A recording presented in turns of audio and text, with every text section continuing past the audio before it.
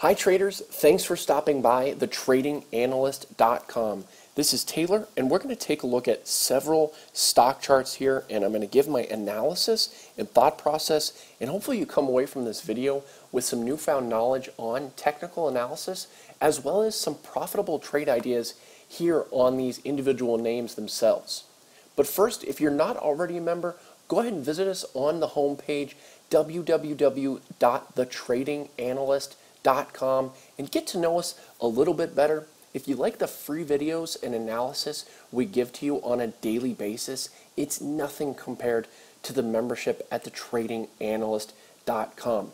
Once you sign up, you're going to be able to take part in the professional chat room, the daily watch lists, the real-time profitable trade alerts that are not only given in the live chat room, but also for those of you that have full-time jobs, part-time jobs, or maybe you just can't be in front of the computer screen all day long, you're still going to get those profitable trade alerts via text message and email. You're also going to get the exclusive daily member videos, webinars, and an education from mentors like myself who truly care about your success in the market. It's a great opportunity and we'd love to help you. All right, so let's get into these charts here. The first one we're going to take a look at is Apple. And I want to point out a couple things here on Apple. Overall, on Apple, we did break this trend line right here. There's a touch, there's a touch, here's a touch. Okay, so we're still below this trend line, but as you can see, and I'm just going to extend that out a little bit here as we are moving uh, further along in price. So, but in the very short term right here, does look like Apple is going to continue higher here as we've broken over this resistance right here. So now about $11 is going to be that support here overall on Apple. I do think we're going to head higher. Most likely we're going to come up here and test these levels around about 113 to 114 is going to be that level that I think is going to be tested here on Apple in the coming days. So that's some levels here that you want to keep your eye on here for Apple. The next one we're going to take a look at is Netflix. And Netflix, you can see here, nice break higher today. And I'm going to draw this little box right here that we can use. So right there you can see Netflix was trading in this box between about 116.60 to about uh, 112.50. Okay, so it's about a $4 range right here. More than likely, we're going to come up here and test this level up here at about 121.70. You can see that this was definitely a level here. It was resistance here, support, support, support, support, another touch, another touch, finally broke through it right there. But you can see several touches along that level. So that's going to be the next resistance level here on Netflix. And we're more than likely going to retest that. The next one we're going to take a look at is Facebook. In Facebook, Similar action here. You can see a nice higher volume day today, well above the average. Just to give you an example, today is 35.4 million shares traded. And you can look over here on an average day. Uh, the volume right here is 13 million. So about three times the volume we got today that you normally see. So about 119 is that level that you want to use as support for Facebook. And the next level of resistance, which we're more than likely going to retest, is that 124.20 level up here. So 119 to 124, definitely think we're going to head higher here and touch that 124.21 level. The next one we're going to take a look at is Amazon.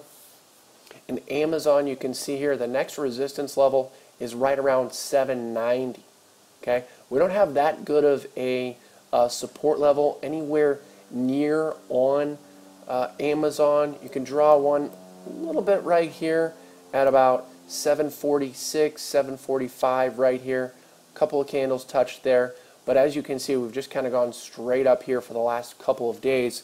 So you really want to focus on this main level up here of resistance about 790. The next one we're going to take a look at is Twitter. And Twitter you can see here we had a nice little uh, breakout here, or what looked to be like a breakout. But as you can see here, we're not really holding that breakout very well. Uh, obviously, we're still above this uh, 18, 15 level here. Um, but as far as the price action here, I'm not really liking it that much.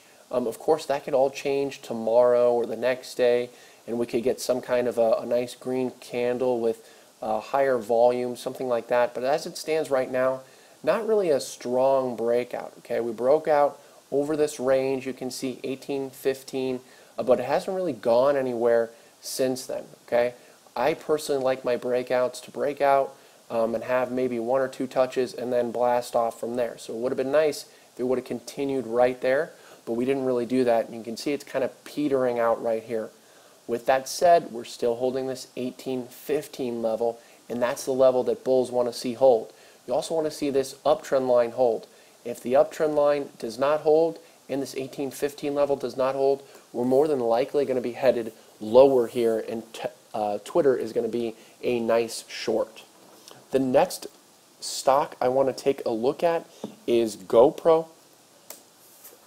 In GoPro here, you can see us forming a nice little support here about uh, just below $10, between about $9.75 to about $10. You can see how many touches we've gotten against this level. In bulls, you want to see it hold this level, and you want to see some kind of a reaction, maybe a uh, hammer here where it breaks below and then it closes above. And if it does that, we can have a nice little upside breakout, or maybe just a nice green candle with some higher volume. So you want to look for some higher volume here earlier in the day, or maybe even at the end of the day, tomorrow or the next day, any day coming up here soon uh, to look for an upside breakout on GoPro. If it breaks below this 975 mark uh, and holds below it rather than hammering above it, like I mentioned earlier, then that's going to be a nice short and more than likely is going to come down here and retest this 875 level. You can see that we bounced off of several times right there. Thanks for stopping by and watching the video, everyone. Again, if you're not already a member, visit us on the homepage, get to know us a little bit better. If you like the free videos and analysis we give to you on a daily basis, it's nothing compared to the membership at thetradinganalyst.com. The best part is, once you sign up, you're going to get instant access to those profitable trade alerts that members are getting on a daily basis. It's a great opportunity, and we'd love to help you.